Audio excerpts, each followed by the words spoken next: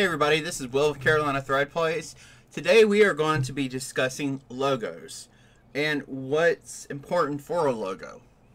Um, does every crafter need a logo? Not really, but if you want to do anything and quote unquote get into business, um, then definitely you need a logo.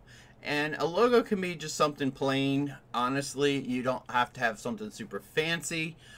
But the thing is this is if you have your logo in block text, um, like Arial, Times New Roman, and nothing else that doesn't kind of tie with what you're doing, um, then people will look at it and go, okay, what do you do?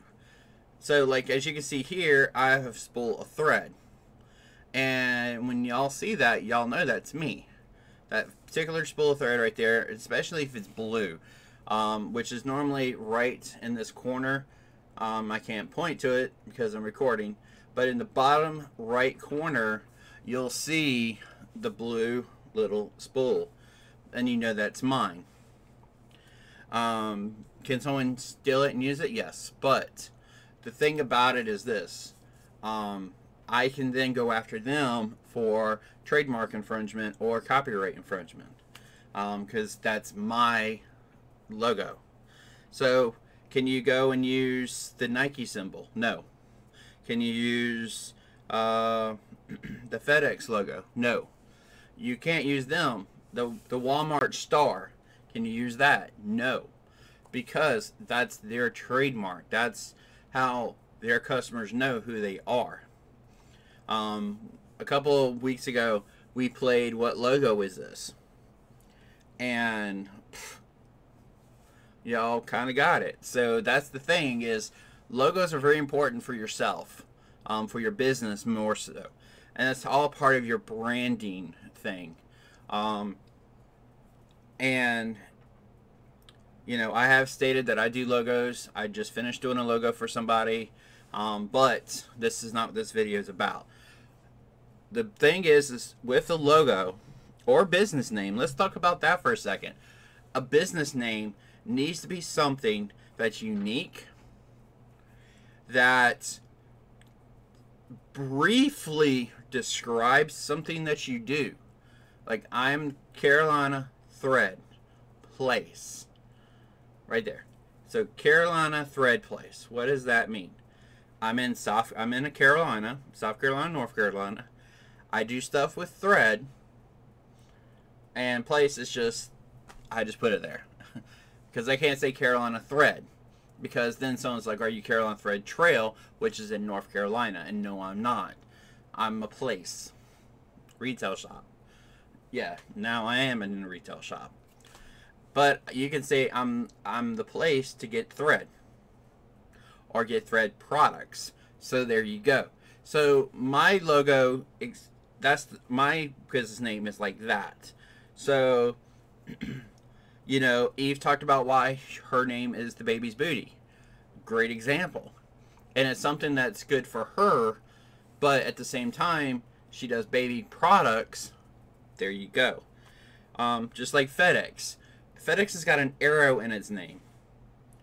And it's always on the go. It's logistics. It keeps going. Um, so things like that. You know, you got to keep thinking of how a logo, you know, or business name work will work for you. Um, yes, there are some businesses like Microsoft. What is Microsoft? You know, but we all know who Microsoft is because of their branding. Their logo is on anything Windows based. But their original logo had the Windows, had a window with different colors, but it was a window. So that's how it's tied itself to um, Microsoft Windows. So enough about them. Apple is an apple. You see that apple, you know it's Apple. Um, and I can think of hundreds of other different companies and stuff.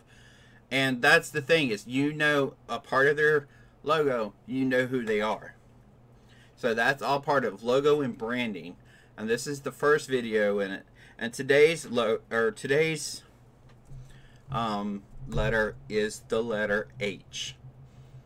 So you got yesterday's one. Here's today. It's H. So be sure to like this video if you haven't. Please subscribe if you have not as well. Please share this with all your family and friends who are looking. And this is a good video for anybody who's going into business, not just embroiders and vinyl people. Anybody, any small business. So definitely share this video and let people know about branding and stuff. Um, if you do want to contact me about um, helping you out with a logo or business name or anything like that, definitely um, you know contact me And I think my emails below in the comments below and tomorrow is going to be websites um, none of these videos are going to be demonstrations it's just going to be talking about it um, maybe social media will be talking about it but these are just topics that we can discuss further in a later video but to give you enough information to at least get started or to go search yourself a little more so until tomorrow, I will see you later.